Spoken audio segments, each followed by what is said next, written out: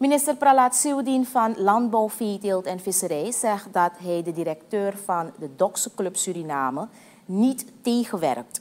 In gesprek met onze redactie op 29 januari jongsleden zei Dokse Club-directeur van de Berg dat Siudin ervoor zorgt dat hij geen broedeieren kan importeren. Hij, hij, is het ook niet eens met de bewindsman dat er een importstop is om de uitbraak van vogelgriep in Suriname te voorkomen. Minister Siudin reageerde gisteren op vragen van journalisten voor aanvang van de wekelijkse ministerraad en verwees de opmerkingen van Van den Berg naar het rijk der fabelen. Inderdaad, ja, steeds als we elkaar zien, ik zou gewoon een hand geven. We kennen elkaar als vrienden, zo, zo is het begonnen. Maar ik heb nu een andere positie. Ik heb bepaalde verantwoordelijkheid.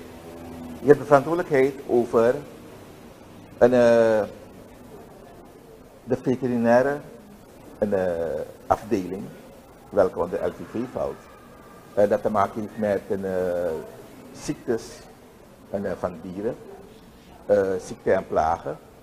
En ik heb te maken met de wetgeving, een soort wetgeving waarmee ik te werken heb. En de wet legt een aantal zaken uit van hoe je dient te werken in case of als er een calamiteit is of een ziekte uitbreekt, dan heb je te houden aan bepaalde protocollen.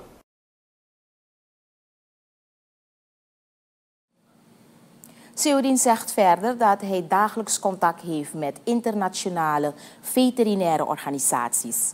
Suriname is tevens lid van de Caribische Veterinaire Organisatie, die goede adviezen geeft, zegt de bewindsman. Op technisch niveau is er ook voortdurend contact met deze organisaties. Het besluit om nu voorlopig geen eieren te importeren is volgens Seudin dus niet zomaar genomen. Nu, en het is bijna elk winter zo, dat uh, als de trekvogels over Europa vliegen, dat dan de, er vaak vogelgriep uitbreekt. En dit jaar is het heftig. Vorig jaar, vorige winter was het ook heftig.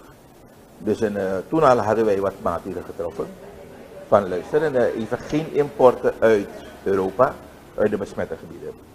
We hebben een overeenkomst met de Caribische organisatie, de CVO, welke zegt van voorlopig geen importen van eieren, vlees, vleesproducten uit de besmette gebieden. En als wij aan de ene kant bezig zijn de markt voor onze producten te openen in CARICOM en de achterdeur openlaten voor eieren of vlees uit de besmette gebieden, dan snap je wat er gaat gebeuren. Straks is onze president voorzitter van CARICOM.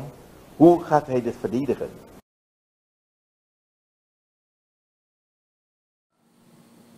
Seudin stelt dat het heel belangrijk is dat mensen weten dat er regels zijn ten aanzien van importeren. Als vogelgriep het land binnenkomt, heeft Suriname een ander probleem. Suriname zal niet in staat zijn om de uitbraak van het virus tegen te houden.